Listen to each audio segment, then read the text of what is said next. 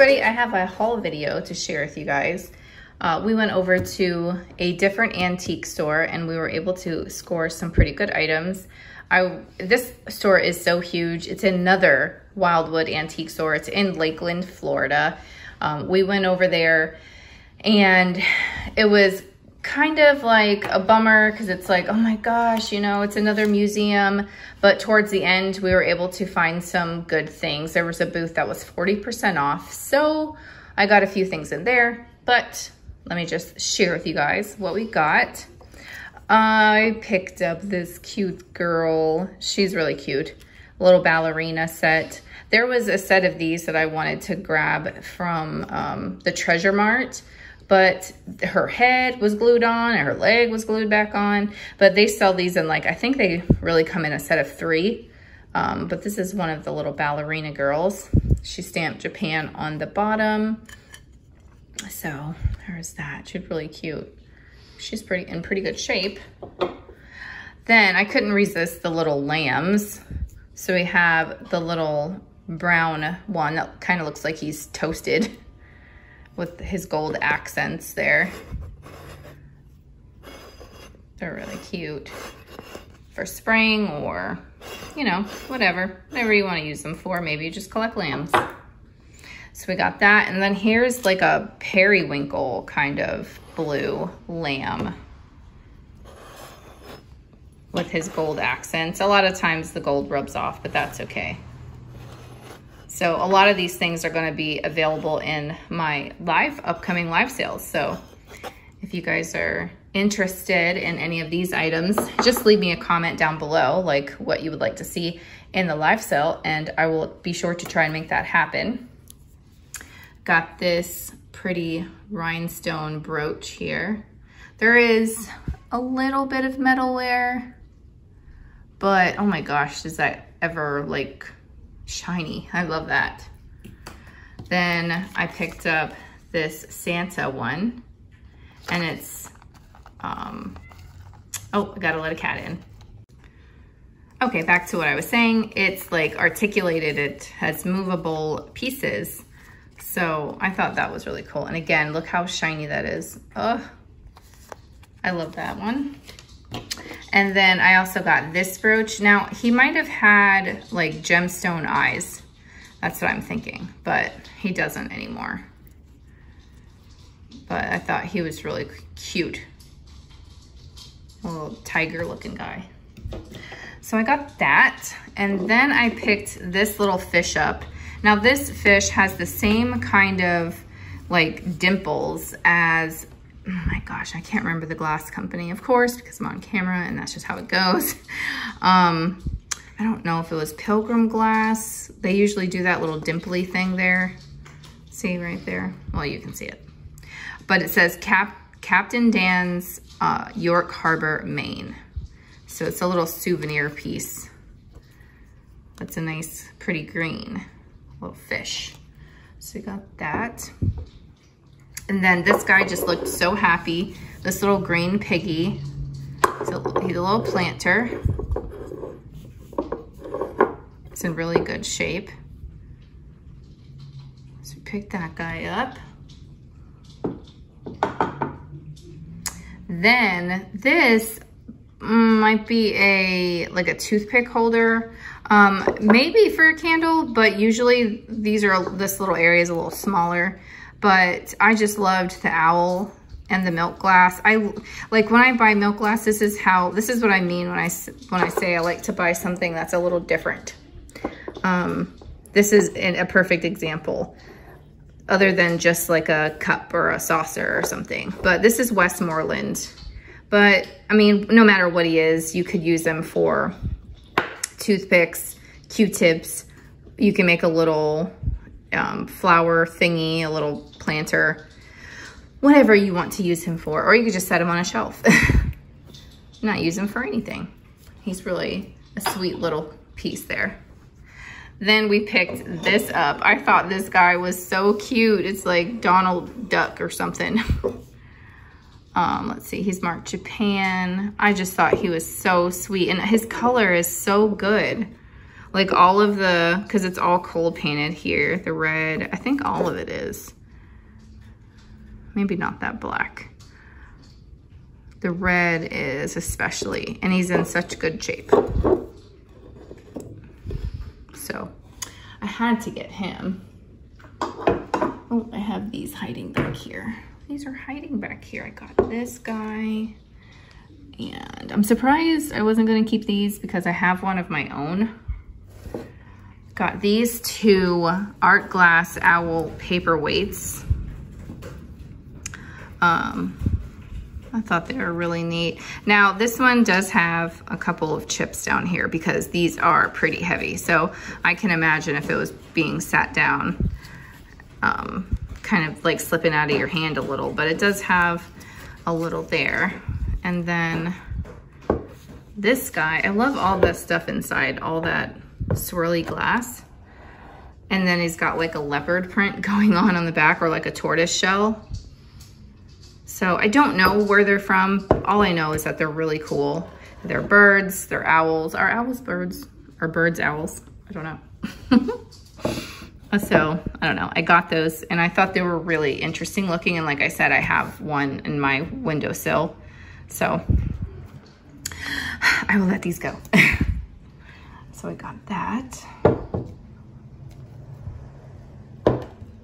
Then I thought this was really cool. This is, it's just a little like a religious, uh-oh, don't fall over. A little religious photo. It's like a little souvenir. Um, not really a photo, but you know what I mean? Like a framed little piece. And don't mind my cats, they're scratching on their cat post. But it says, um, Pleasure Beach Park, Connecticut. Looks like it says park anyway. And you have some dried flowers in there. And then you have it on this old stand. And it's backed on that old sort of chipboardy cardboard wood. Does that make sense?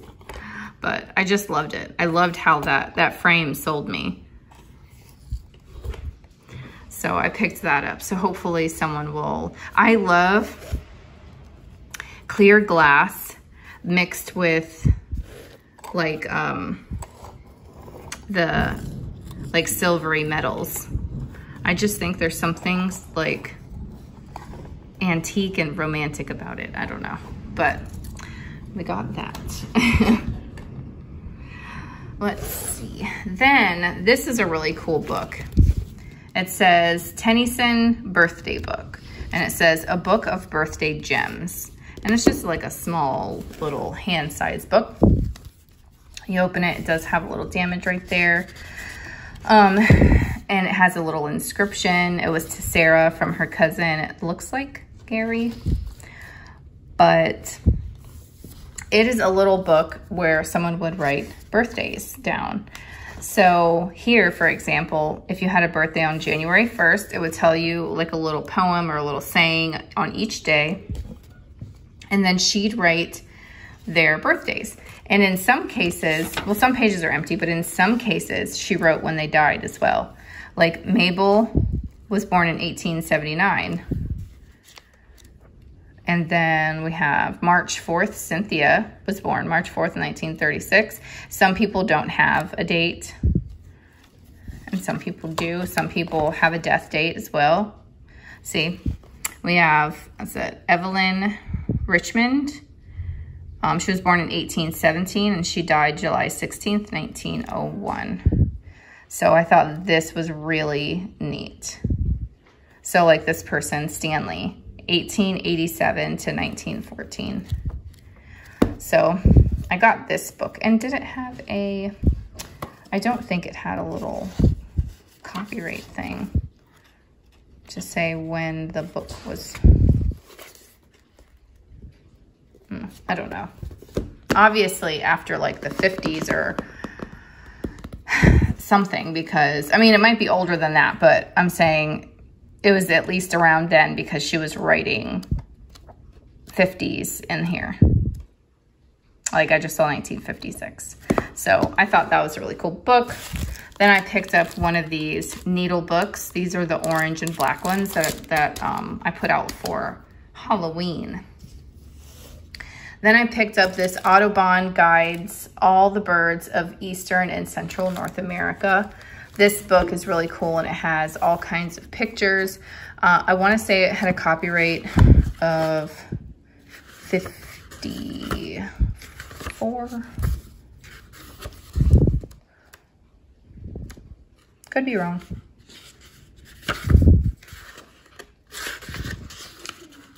53.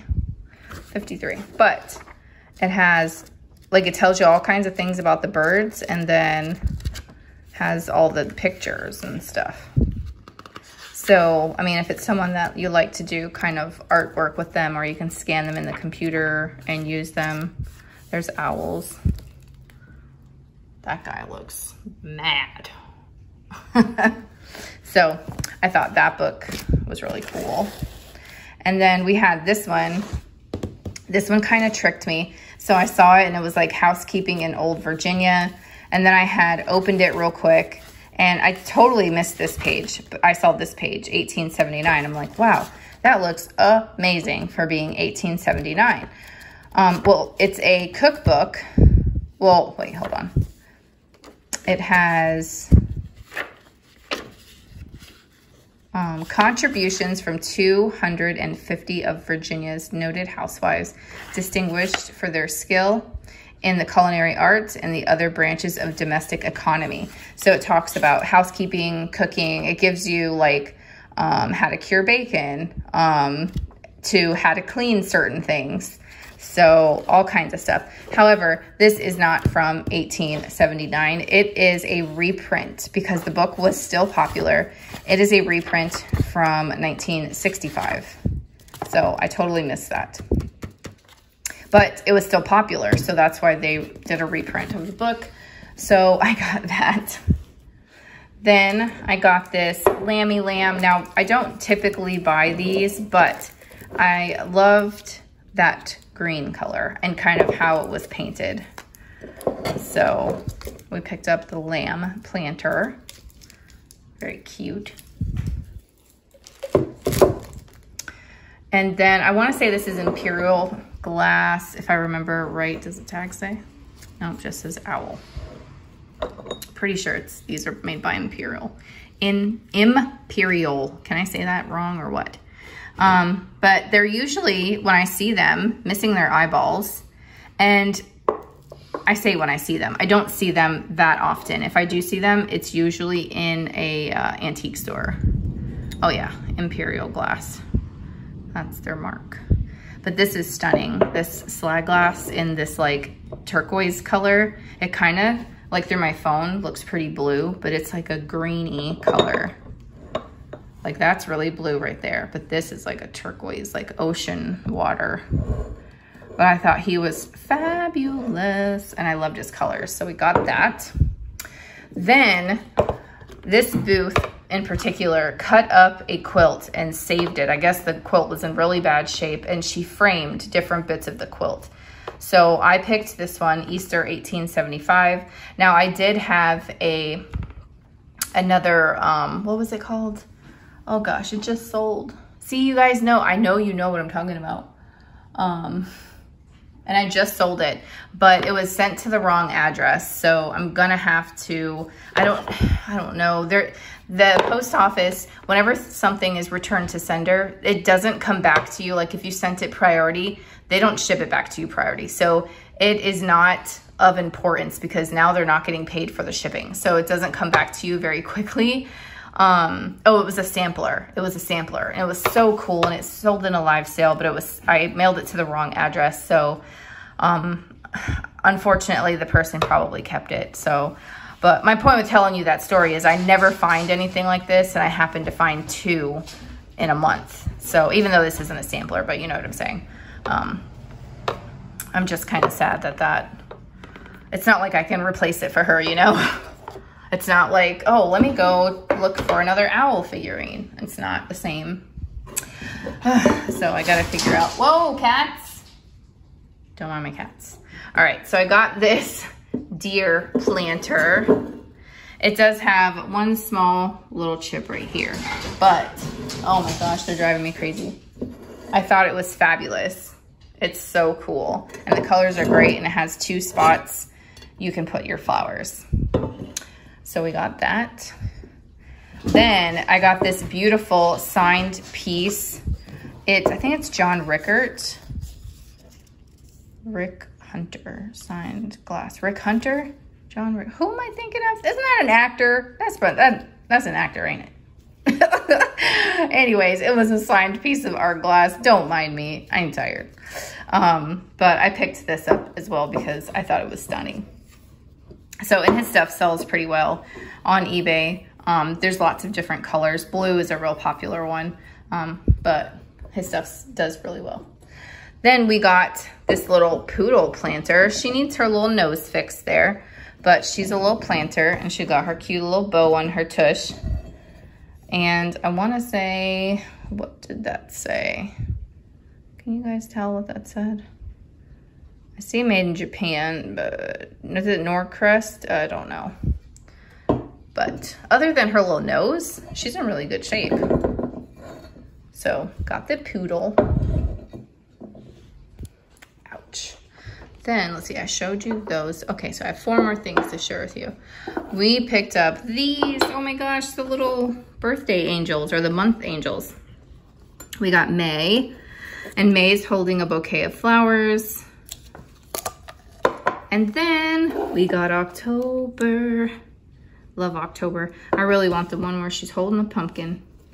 She's like this style, but she's got a pumpkin. And I wanna say, no, that's July, that's wearing a hat. But oh my gosh, I love these. So we got two of those. Then Aaron spotted this beautiful piece. I think, gosh, this reminds me of Fenton. Correct me if I'm wrong. Hmm, I might be wrong, but it reminds me, it's so clear and it just looks like the Fenton Amberique stuff. But anyways, we picked that up. I thought that was beautiful. And then my favorite piece of all, we got the glass like head display. Whenever I see these, which isn't very often, I always want one. Ugh. So we picked this beautiful piece up. It's so cool. They have they come in like a, a, a much lighter blue, kind of like a mason jar, and then um, clear. Those are two popular colors if you tend to see them. But then if you can find like purple, psh, that one sells really well. And then this would probably be second in line. But anyways, guys, that is everything we got from the antique store. So I just wanted to share that with you today. And I hope you guys can pop into the sales. Um, every Sunday, we host live sales here on the channel, Sunday at 1 p.m. Eastern. And that's where you will see a lot of the things from our um, our haul videos or our thrift with me videos. So I hope you guys pop back to check on those items. Also, don't forget to go follow us over on Instagram because we would love to like see you guys and talk to you guys over there. So if you could, make sure you hit that thumbs up button before you leave. And let me know what was your favorite item, guys. Let me know. Um, would you have left any of this behind? I mean, I'm really curious. All right, guys. Thanks so, so much. And I'll talk to you guys again soon. Bye.